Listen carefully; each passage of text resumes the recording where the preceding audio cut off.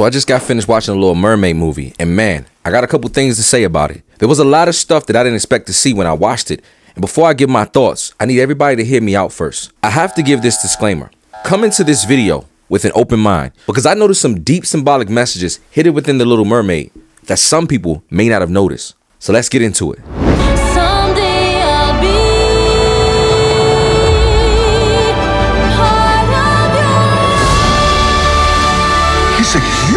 You're a mermaid. That doesn't make us enemies.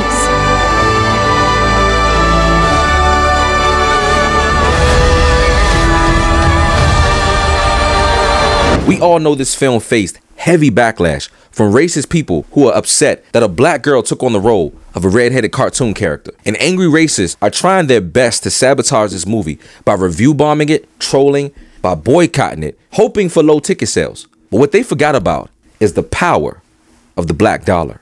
Because black families are showing up to this theater and beating the odds. Because according to Cinema Score, the data shows that black audiences are dominating the box office, with black families making up the 35% of all ticket sales, while Caucasian audiences make up a lower 26% of tickets sold. But I know one thing me and my family came out to show love to our beautiful sister, Halle Bailey. And shout out to all the families and little girls who showed up to support our sister, because together we beat the haters, and Little Mermaid is now projected to rake in between 118 million and 121 million dollars over the Memorial Day weekend. And I must say, our sister Halle Bailey absolutely killed it. And whether y'all noticed it or not, she's actually more like the Little Mermaid in real life than people realize. Cause y'all putting Halle Bailey through exactly what the character Ariel went through. See, Halle Bailey, like Ariel, is a young girl discovering herself. And just like Ariel, she's not accepted by the surface world, or in Halle's case, not accepted by the spotlight of European beauty standards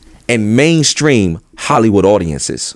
And Halle, just like Ariel, is trying to bring two worlds together who have a history of hating each other while literally being scrutinized and mistreated by both sides. See, I didn't notice that, did you? But let me tell you something. See, Halle was born for this role. She was made to be the Little Mermaid. Who else but Halle could live out what it's like to be rejected by the outside world while trying to become the queen that she was born to be? See, all these racist people who's complaining about diversity didn't know that at its core, the Little Mermaid has always been about diversity. When you think about it, it's a woman who is a half fish creature who is different than society's standards but determined to be rightfully a part of your world. See, that struggle was always a black struggle. And where both the character Ariel and the actress Halle Bailey both had to deal with discrimination, just like Ariel, Halle Bailey also faced personal attacks from her own culture against the man that she chose as her prince in real life, her boyfriend DDG, who her own people are desperately trying to tear down her relationship to the man that she chose to love. Let's talk about how Halle Bailey got some real life black female aunties that's just like Ursula the octopus, trying to sabotage and separate her from her real life love to a black prince named DDG. See, a lot of women hate that boy and don't even know his story. And just like Ariel's father and her auntie, Halle Bailey's been trying to show y'all that regardless of what y'all think, she's seen something in her boyfriend DDG that y'all would never understand.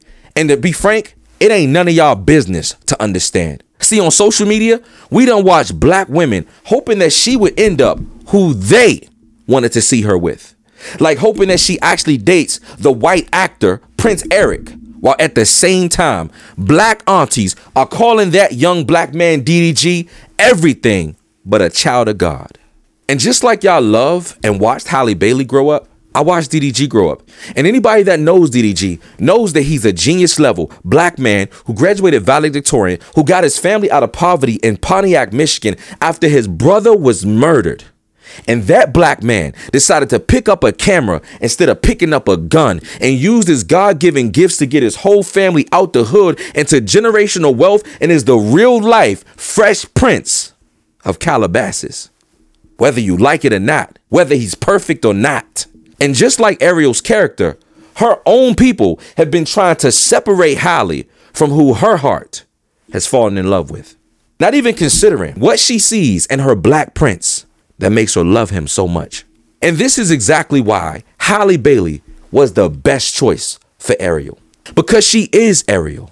See, we watched that girl be magical, brave, and determined in real life. And all the haters that are hating on Halle Bailey right now are proving why the story of Little Mermaid is so powerful.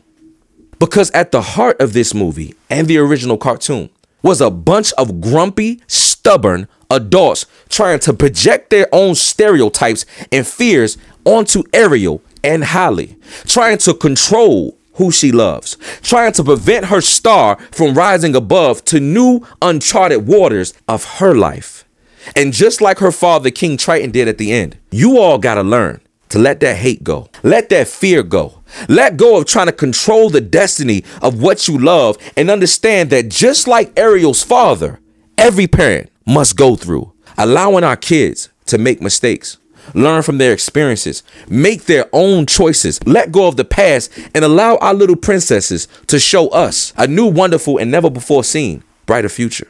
But if she ever sees this video, I want to say this Halle Bailey, I love you, sis and I'm proud of you.